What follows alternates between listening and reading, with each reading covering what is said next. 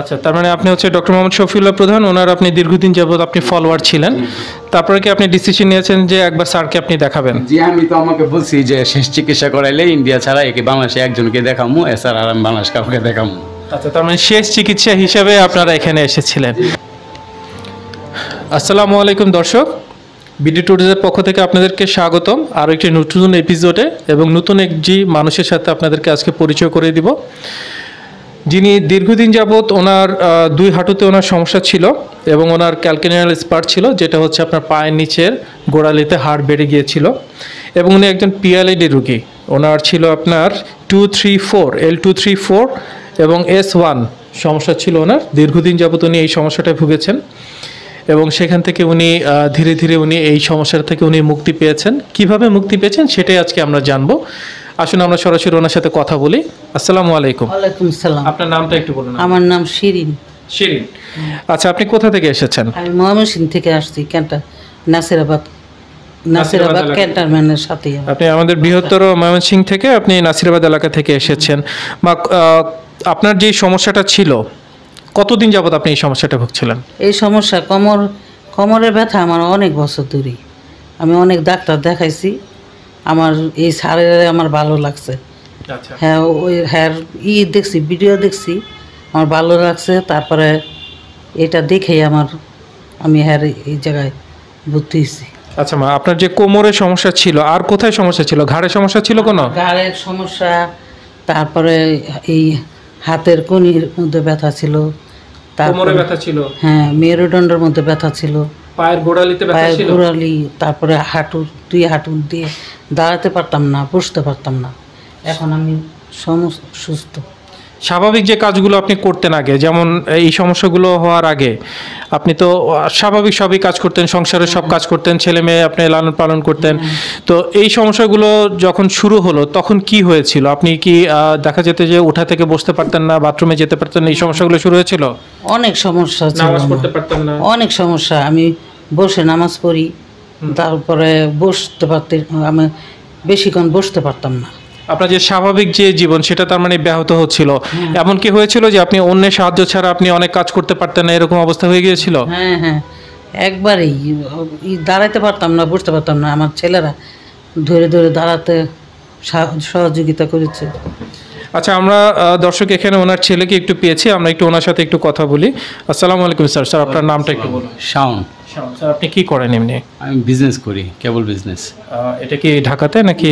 মেমেন করি। স্যার আমাদেরকে কি একটু বলবেন যে আপনার মায়ের যেটা ছিল যে আপনার পিএলআইডি সমস্যা ছিল যেটা ওনার কোমর ব্যথা থেকে শুরু করে ওনার হাঁটু ব্যথা এবং পায়ের গোড়ালিতে প্রচণ্ড ব্যথা ছিল তো এটার জন্য আপনি ওনাকে আগে কেমন দেখতেন? যে আগে খুবই সমস্যা ছিল উঠতে বসতে পারতো না। এখন মানে আগের থেকে এখন একটু বেশি বেশি হয়ে গেছিল। তো মানে ইদানিং খুব খারাপ অবস্থা খুব খারাপ অবস্থা ছিল সেই কারণে এখানে আনা। আর আমি অনেকদিন ধরে স্যারের ফলোয়ার কোন স্যারের ফলোয়ার ছিলেন? শফিউল্লাহ প্রধান স্যার স্যার আমাদেরকে কি একটু বলবেন যে এই সমস্যাটার কারণে কি এর আগে কোথাও কোনো ধরনের ট্রিটমেন্ট করিয়েছিলেন ওনার? জি অনেক জায়গায় ট্রিটমেন্ট করাইছি অনেকগুলি ডাক্তার দেখাইছি আমাদের মেডিকেল কলেজের অনেক বিশেষজ্ঞ দেখাইছি আসলে কোনো কিছুতে কিছু হচ্ছে না। মানে ওনারা যে ট্রিটমেন্টগুলো দিতেন সেটা হচ্ছে সাময়িক একটা ট্রিটমেন্ট ছিল হয়তো ব্যথা কিছু কমে যেত পরবর্তীতে সেটা সেটা আবার আগের পর্যায়ে চলে আসতো। কোনো উপকারী হচ্ছিল না মেডিসিন জাস্ট খাওয়াইতো ওই ব্যথা আসতেই চলে যেতে এর আর কোনো ই ছিল না। আচ্ছা তার মানে আপনি হচ্ছে ডক্টর মোহাম্মদ শফিউল্লাহ প্রধান ওনার আপনি দীর্ঘদিন যাবত আপনি ফলোয়ার ছিলেন। তারপরে কি আপনি ডিসিশন নিয়েছেন যে একবার স্যারকে আপনি দেখাবেন? জি আমি তো আমাকে বলছি যে শেষ চিকিৎসা করাইলে ইন্ডিয়া ছাড়া একে বাংলাদেশে একজনকে দেখামু এছাড়া আর আমি বাংলাদেশ কাউকে দেখামু আচ্ছা তার মানে শেষ চিকিৎসা হিসেবে আপনারা এখানে এসেছিলেন। আচ্ছা স্যার আপনার মাকে দেখার পর কি বলেছিলেন? যে স্যারকে দেখার পরে স্যার বলছিল যে আপনার সমস্যা নাই আপনি হেঁটেই যাবেন। হ্যাঁ, দাঁড়াতে পারেন না। তারপর তো আমার এখানে আসছেন আপনার চিকিৎসা নেন পরে আপনার কেউ ধরতে হবে না আপনি হাইটে হাইটে যাইতে পারেন তার মানে এটা তো অবশ্যই অনেক বড় একটি ভরসা কারণ এই ভরসাটা আসলে সবাই দিতে পারেন না অবশ্যই। যে কারণ আপনি হাঁটতে পারছিলেন না তারপরেও স্যার আপনাকে দেখার পরেই বলে দিয়েছেন যে আপনি নিজের পায়ে হেঁটে চলে যাবেন। এখন শরীর খুব পাতলা লাগতেছে আর ই কোনো ভারটার লাগতেছে না খুবই ভালো লাগতেছে আচ্ছা। আজকে। আচ্ছা তার মানে আপনি গত এত বছর যাবত আপনি যে এই কষ্টে দিয়ে গেছেন আজকে তো আপনি অনেক স্বাধীন এবং ফ্রি লাগছে এবং যে এই যে ব্যথামুক্ত একটা দিন আমরা কিন্তু যারা আসলে ব্যথার রোগী তারা কিন্তু আমরা সবসময় আল্লাহর কাছে একটা দোয়া করি যে এই ব্যথাটা থেকে আমি যাতে মুক্তি পাই এবং আমরা এরকম অনেক পেশেন্টকে পাই যারা বলেন যে আমার সব সম্পদের বিনিময় হলো আমাকে একটু ব্যথা থেকে একটু মুক্তি দেওয়া হোক। তো এই যে ব্যথা থেকে আপনি মুক্তি পেয়েছেন কেমন লাগছে আপনার? আমার খুবই ভালো লাগছে।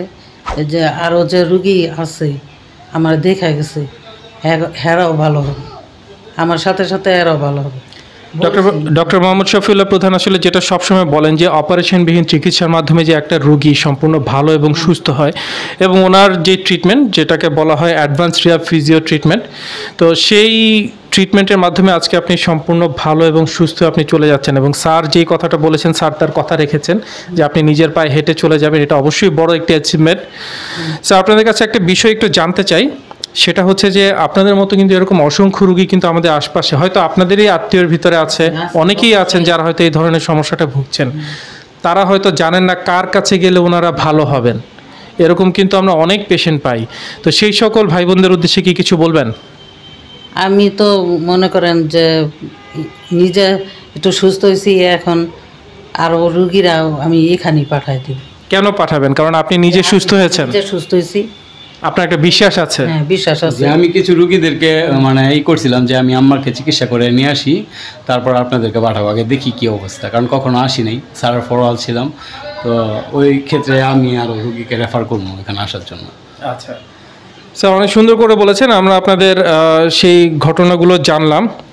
দর্শক, একটা জিনিস দেখেন যে এখানে রুগী তার নিজেই বলল এবং রুগীর ছেলে, উনি নিজেও বললেন যে উনি অলরেডি অনেক জায়গায় ওনারা ট্রিটমেন্ট করেছেন, বিভিন্ন জায়গায় বিভিন্ন ধরনের ট্রিটমেন্ট করার পর ফলশ্রুতিতে ওনারা যেই ধরনের কাঙ্ক্ষিত ফল পাওয়ার কথা ছিল, সেটা ওনারা পাননি। পরবর্তীতে শেষ চিকিৎসা হিসেবে বাংলাদেশে ওনারা ডক্টর মোহাম্মদ শফিউল্লাহ প্রধান, ওনার আন্ডারে থেকে ট্রিটমেন্ট নিয়েছেন। এবং ডক্টর মোহাম্মদ শফিউল্লাহ প্রধান যেটা বলেছেন, ওনাকে দেখার পরে যে আপনি নিজের পায়ে হেঁটে আপনি বাড়ি যাবেন। এই যে যে একটি চ্যালেঞ্জ স্যার চ্যালেঞ্জ নিয়ে যেমন ওনার ট্রিটমেন্টটা করেছেন এবং উনি ওনার কথা রেখেছেন, যেটা রুগীর মুখে আজকে হাসি এসেছে। সো আশা করি আপনারাও যারা চিকিৎসা নেবেন, যেখানেই চিকিৎসা করুন, আপনারা আগে জানেন, বুঝেন এবং সঠিক জায়গায় সঠিক ট্রিটমেন্টটা করেন সঠিক সময়। কারণ বেশি দেরি করে ফেললে সেটা আপনাদের জন্য যেমন ক্ষতিকর ডক্টরের জন্য সেই ট্রিটমেন্টটা করাটা অনেক ডিফিকাল্ট হয়ে যায়। সো অবশ্যই জানুন, বুঝুন এবং সঠিক সিদ্ধান্ত নিন, সঠিক বিশেষজ্ঞের মাধ্যমে। ধন্যবাদ আপনাদেরকে বিডি টুরিজের পক্ষ থেকে। এতক্ষণ আপনারা থেকে আমাদের এই এপিসোডটা দেখলেন। ধন্যবাদ আপনাদেরকে আমাদেরকে মূল্যবান সময় দিয়ে মতামত দেওয়ার জন্য। আসসালামু আলাইকুম। ওয়ালাইকুম আসসালাম।